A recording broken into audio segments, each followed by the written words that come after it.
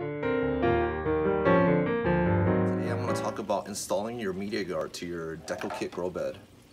And first off, let me talk about why you need a media guard and how it will look once uh, it is installed into your system.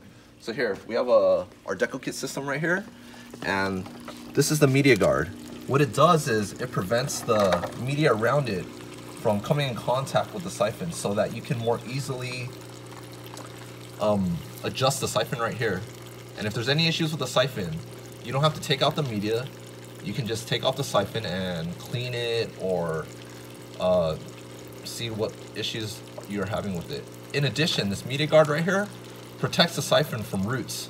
So as your plants grow, roots can come and clog the siphon. So all you need to do if you have the media guard is to turn it.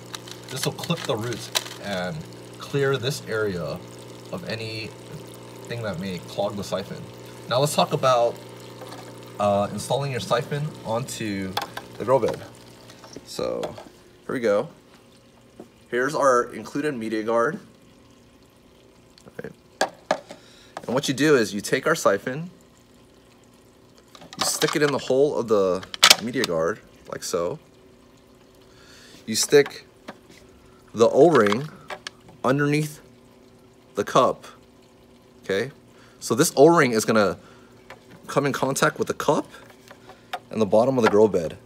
And this piece of plastic will prevent any water from leaking through the hole in the grow bed right here. Next,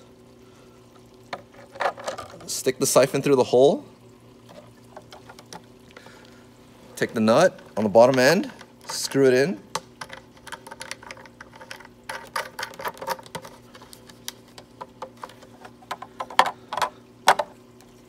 This, screw in,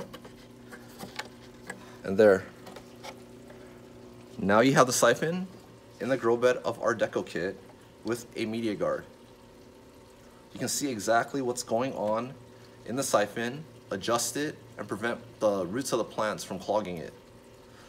Thank you. I hope you found this uh, video good.